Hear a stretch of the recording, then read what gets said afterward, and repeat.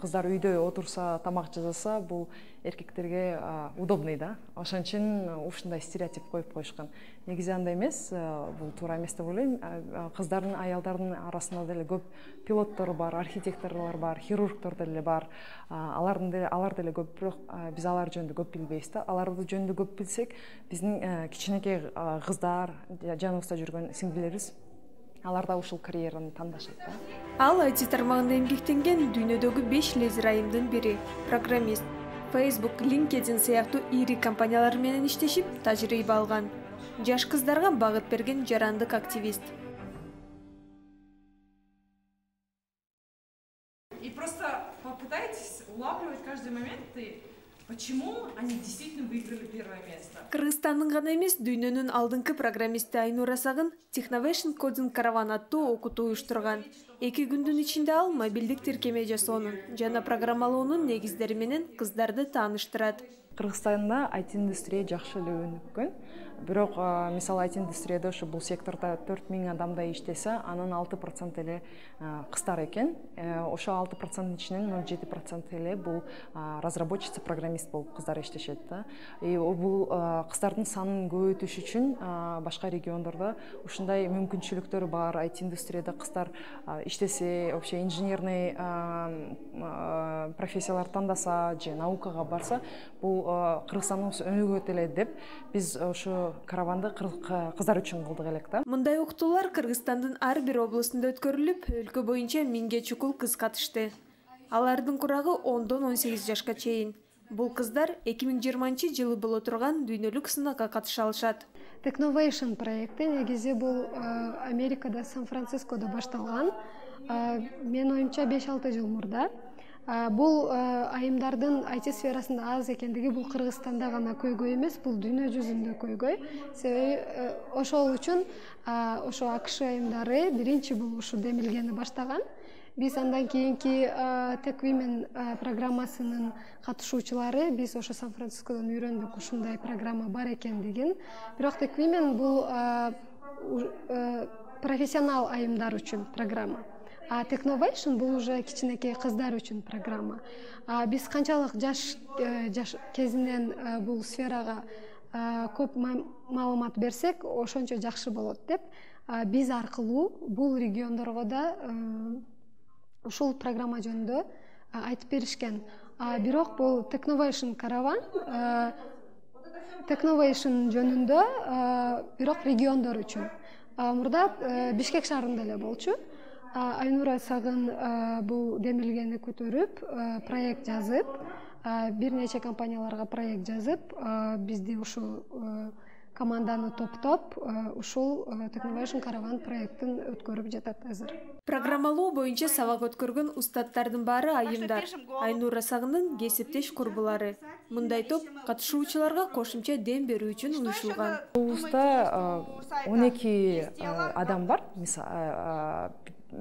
кээерки кыздар мисалы караколго барышты кээерки кыздар жалал абадка барды кээерки кыздар бүгүн ошко келишти баардыгы ар бир выходнойдо бара алышпайт ошон үчүн биз алмаштырып мындай план өзүбүзгө расписание койдук да негизи арабызда жалаң кыздар программисттер анан бир бала мирдам бул биздин видео монтаж видео съемка боюнча тренинг берет. Катышуучулар командада иштөө жана видео аркылуу өзүнүн идеясы менен бөлүшүү жөндөмүндө өнүктүрүшөт. Айзерек программалоону үйрөнүү үчүн токсон километр алыстыкта жайгашкан кызыл кыя шаарынан атайын келген. Сөзсүз мен айти сферасына окуйм деген максатым бар эле. Анткени бул бул тармакка мен тогузунчу класстан бери эле кызыгып мектептик мектептик шаардык олимпиадаларда катышып биринчи орундарды алып келгем. Ал эми кыргызстанды болсо именно ошол тармакта өнүктүрүп албетте өз салымымды кошом деп ойлойм. Программист болуу үчүн англис тилин билүү шарт. Кызыгуу болсо окуунун эрте кечи жок. Ит э, мышык кылса болот экен да аны кыймылтыгыш үчүн биз э, англисче сөздөрдү койдук анан ал ошол сөздөрдү сүйлөп кыймылдап турган. Бүгүн жаңы программаны үйрөнүп жатабыз. Сибат лицейинин окуучусу аида программалоо тилин өздөштүрүп атканына эки жылдай болуп калды. Ал болочоктогу айти адис. Technovation это в общем олимпиада для девочек. И что техновейшн бул кыздар үчүн олимпиада. кыздар өзүн өзү чектебей стереотиптерге баш ийбей. Алдыга койгон максаттарына жетүүгө мүмкүнчүлүк берет. Кыздар балдар сыяктуу эле каалаган нерсесин кыла ала тургандыгын көрсөтөт. Девушкам тоже можно делать то же самое что могут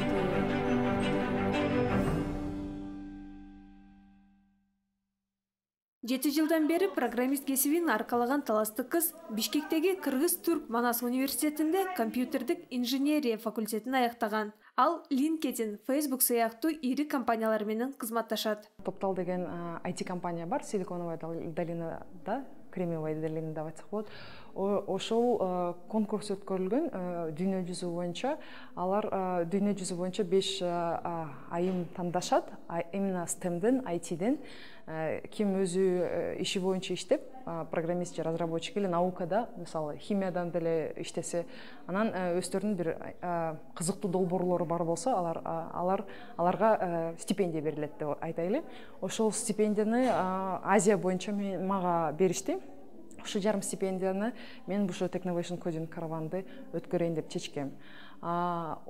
Ошондо биз technovation coding караванды пландаштырып баштаганда un woman организация организация оон женщин деп айтсак болот оон айымдар жанагы жана посольство америки алар да бизге жакшы жардам беришти да. Айнура сагын акшнын топтал айти компаниясы уюштурган дүйнөлүк сынагынын азия чөлкөмү боюнча жеңүүчүсү. Ал калыстардын чечими менен дүйнөдөгү айти чөйрөсүндөгү беш лидер айымдын катарына кирет. Тазар мобилдик тиркемесинин негиздөөчүсү. Менин курбум бар аймирим турсалиева деген. Ошол экөөбүз ушундай кыргызстанда бизде перерабатывающий завод жок болсо бирок бир нерсе кылыш керек деп ойлогонбуз да. Анткени биздин мусорный полигонубуз күндөн күнгө чоңоюп жатат.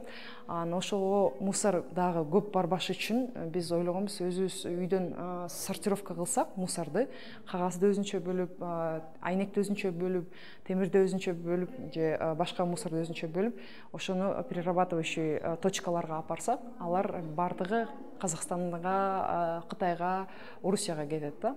Анан ошого биз ойлодук ошо мобилдик тиркеме керек деп. Биз башка кыздарды программист кыздарды чогултуп башка журналист кыздарыбыз бар болсо аларды да чогултуп ошо мобилдик тиркемени чыгарганбыз. Азыр ал мобилдик тиркемени ачсаңыз сиз бишкекте кайсыл мусорду мисалы например темирди кайсы жака алып барып берсеңиз болот же кагазды кайсы жерге сатсаңыз болот ошо карта боюнча список турат да. Программист келечеги бар жана айлык маянасы жогору болгон кесиптердин бири. Ал квалификациялуу болууну талап кылат. Бул тармак абдан көп э, компьютердин астында убакыт өткөрүш керек абдан көп э, маалыматтарды үйрөнүш керек. Андан кийин жана э, чет тилин билиш керек англис тилин билген эң биринчи шарттардан. Себеби э, бизде маалымат көбүнчө англис тилинде. Ошол тил э, тил боюнча жана ошол э, өзүнүн жеке убактысын бөлүү боюнча проблемалары бар адамдар үчүн бир аз кыйын болушу мүмкүн.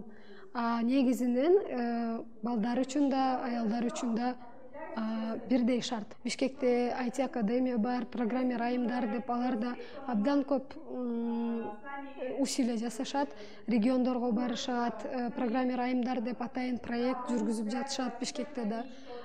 Биздин компания деле меддевс компаниясы биз атайын кыздар үчүн деп стажировка уюштуранбыз кыздар аялдар Э, кайсы ишке кирет кайсы ишке кирбейт дегенди бөлбөш керек. Ошо биздин жарандыктар биздин ошол жашаган э, биздин өлкөдөн э, адамдар аларга шарт түзүү. Неважно эркек болобу аял болобу. Мисалы азыр карап чыксак көбүнчө эркектер швейный цех ичинен иштеп атышат? Тигүүчү кадимкидей өтүктөп отуруп үтүктөп акча таап атат. Уже эметпейт эми эркек эркекке муну жумуш жарабайт деген болбойт. Аял кишини мисалы биз күнүгө карасак таксисттер отурат. Жашынакай такси болуп иштеп атат ошол жакта негизи мындай карап чыксак биз акырын акырын жылышыбыз бар өзгөрүштөрүбүз бар. Уже баягы эл эмне дейт? Эң коркунуч да биздечи эл эмне дейт деген акырын уже мындай азайтып атат да. Бул болсо урдабайт өлтүрбөйт жаман жолго чыкпай пожалуйста жаса бер. Шарт бар. Эч ким эметпеш керек. Аялдарды албайм ишке э, же эркектерди албайм. Андай болбош керек. Иш бар.